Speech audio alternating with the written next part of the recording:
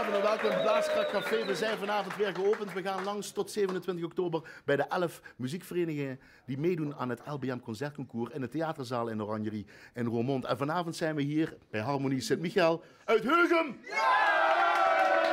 Met twee assistentes. Jongste lid, hoe heet jij? Sarah Kruchten. En het oudste lid, meneer? John Kusters. Waarom de klarinet, Sarah? Nou, ik vind het een heel mooie klank hebben en uh, mijn moeder speelt het. En uh, ja, ik moest wel van mijn ouders. Het is wel jouw eerste concours, hè? Ja. Oeh. Vind je het spannend? Ja. Wat is er zo spannend dan? Uh, nou ja, je gaat wel uh, voor een punt en ja, voor de harmonie. John, dit zal wel je 684ste concours zijn? Nou, zoveel niet, maar toch wel heel hoop. Waarom is het belangrijk om in het LBM Concertconcours mee te doen? Want uh, hebben jullie elk jaar uh, een uitdaging nodig? Want je gaat één keer in de vijf jaar op concours. Wij, wij spelen diverse concerten, maar de kwaliteit die haal je omhoog door op concours te gaan. Mag ik een applaus voor Sarah en voor John? Ja, het is weer tijd voor de haste moordvragen, de heb je moed vragen, de iets wat ondeugende, ongemakkelijke vragen van de leden zelf hier van Harmonie Sint-Michael en Heugem aan de dirigent. Uh, Sarah, hier de piltjes, deel ze maar uit. John, hier de pennen, deel ze maar uit. En ik ben benieuwd wat jullie gaan vragen aan de dirigent Twan Cox.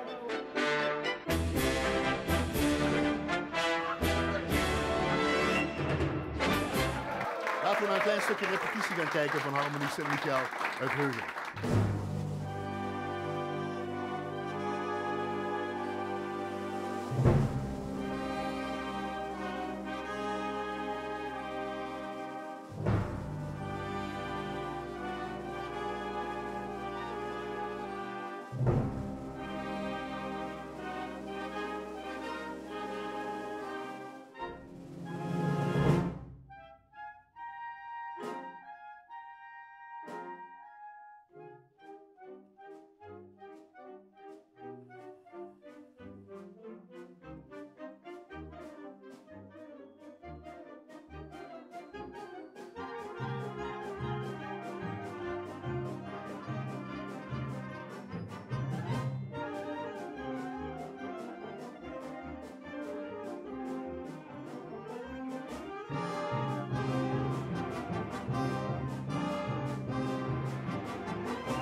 Hier staat hij dan, jullie dirigent, Twan Cox.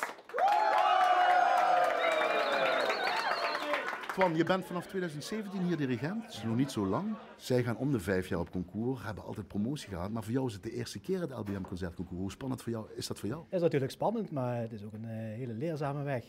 Ik durf inderdaad met het korps. Het is sowieso een, een ster orkest. Het zijn uh, echt groepen samen. En ze hebben een mooie toetieklank, maar ze hebben ook goede solisten. En daarom heb ik besloten om met zo'n concours te gaan. Want solisten heb je nodig die de sectie, zal ik maar zeggen, de kar trekken? Ja, maar ook om een mooie solo te geven. Hè. En uh, we hebben een concourswerk waar een aantal solos in zitten. Hoe zoek je dan het concours-programma uit dan? Uh, ik heb gezocht op wat een beetje bij Heugen past. Uh, ik ben heel veel titels afgegaan, geluisterd, partituren besteld, bekeken. En ik heb ook een beetje naar de uitdaging gezocht. Heel precies spelen wat er staat. En ook het, het zacht spelen toch. ja, ze gaan hard, ja? Ja, hard gaan, dat is uh, het ding van Heugem. Wat zijn dan de sterke punten van jullie harmonie? De kracht is dat ze wel echt één orkestklank hebben. Oké, okay, weliswaar is dat af en toe hard, maar het kan ook heel mooi zijn. En die kwaliteit hebben ze. Ze kunnen heel mooie muziek maken. Het doel eigenlijk is gewoon een mooie eerste prijs. Maar ik denk wel dat er een promotie in zit. Die potentie is er wel. En kunnen ze dat ook vasthouden daarna? Nee, dat denk ik niet. Dus als het gebeurt, wat dan?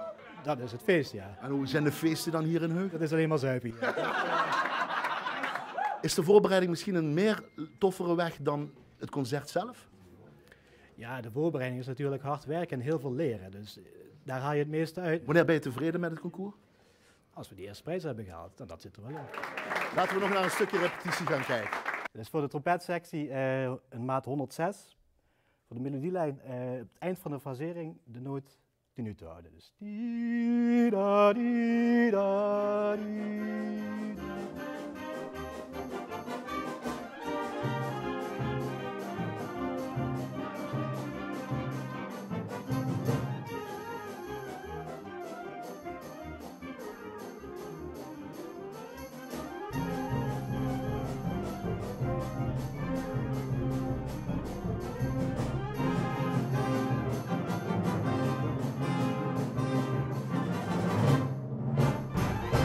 dit zijn de vragen van, jou, van jouw leden hier van Sint-Michael uit Heugem, die ik aan jou ga stellen. Wie vind jij de meest sexy sexy van de harmonie? De hornies. Ten eerste zijn ze sexy, de sexy sexy. Sexy is sexy.